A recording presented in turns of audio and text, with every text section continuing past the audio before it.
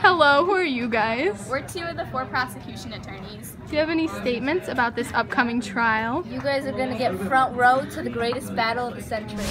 Pope Innocent IV Why do you think you would be helpful to this trial?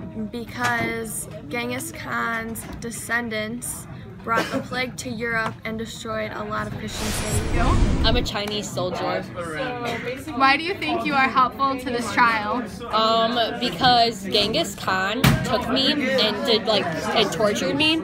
So I have like examples of how he was uncivilized because he took me and put me in a moat and walked over me, and that's how I was murdered. I'm Stazem, Caliph of Baghdad. Why do you think you will be helpful for this trial? I'm helpful because I was killed brutally along with my whole city that burned down to dust. Your name? Muhammad II. Do you have any statements about this upcoming trial? I think that Genghis Khan is guilty because he was extremely violent and could have been much more civil. For you? I'm the Prince of Kiev Why do you think you would be helpful to this trial? um, because the Mongols killed me and destroyed my city.